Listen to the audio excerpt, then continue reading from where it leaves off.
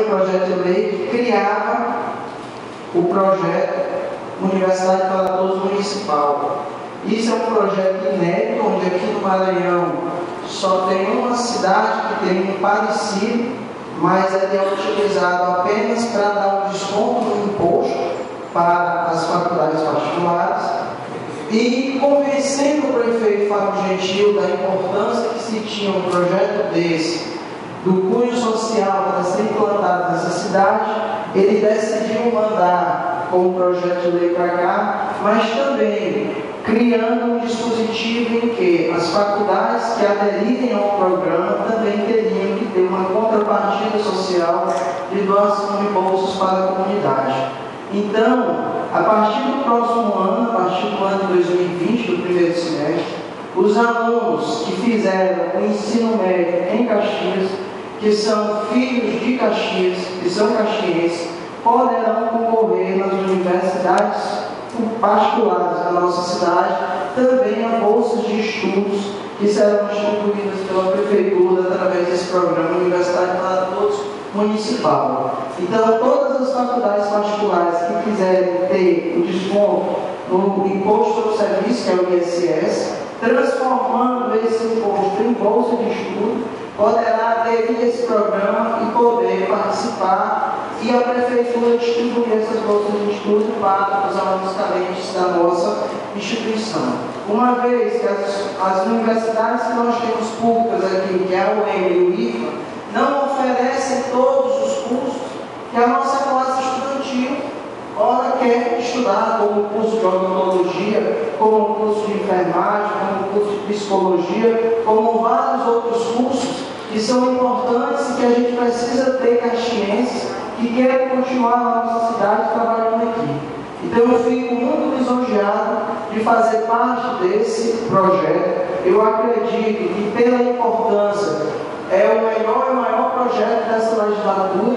é a aprovação desse projeto, onde a gente vai ter um alcance social muito grande e a gente vai estar investindo na principal coisa que a população precisa, que é na educação e na formação dos nossos jovens. Então, eu, como professor que sou, professor de coração, professor de formação, não poderia me furtar de fazer parte dessa história que vai ficar nos anais dessa casa. E o segundo projeto foi apresentado aqui no início de junho, um projeto de indicação minha e do vereador Mário Magalhães, que versava sobre a unificação de matrículas,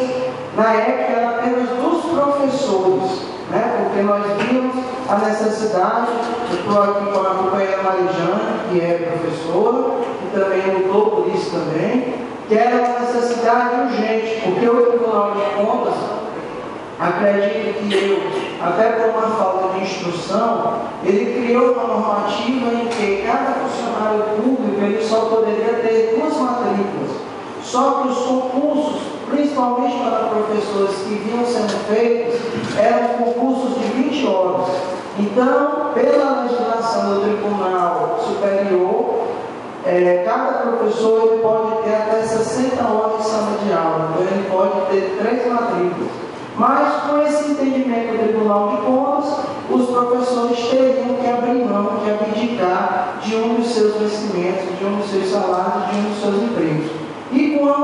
Com a unificação de matrícula, quem tem duas matrículas de 20 horas agora aqui em Caxias, vai poder unificar ficando com uma matrícula única. E assim ele tem ou um emprego em outra cidade, ou um emprego no estado, ou um emprego é, é, em outro município, ele não vai precisar abdicar nem pedir demissão de um desses seus empregos, fazendo com que ele continue trabalhando e continue tendo condições de sustentar sua família. Esse projeto de lei foi apresentado aqui por mim, vereador Mário Magalhães, chegou a se ventilar que ele teria sido vetado. Nós, vereadores aqui, nos unimos e decidimos que se o veto viesse para a Câmara, nós derrubaríamos o veto para a Câmara promulgar o projeto de lei. O prefeito Fábio entendeu a importância e a necessidade e decidiu para dar uma discussão jurídica lá na frente, mandar o projeto como uma indicação do Poder Executivo para cá, e aí já abrangendo os outros cargos, são os cargos do nível de saúde, que nós temos enfermeiros, médicos que estão plantando que atendem, e assim sucessivamente. Então, fazendo um projeto mais amplo, que aí já teve também a participação do vereador Chimente, de outros vereadores dessa casa, que foram procurados pelos servidores públicos municipais, que estavam a qualquer momento tendo que pedir emissões dos seus empregos, porque o Tribunal de Contas estava ameaçando é, punir o agente público que não tomasse essa atitude. Então, isso é uma coisa importante para o nosso município. Que permite que as pessoas que aqui vivem, aqui moram, possam continuar trabalhando, laborando e desenvolvendo o seu trabalho.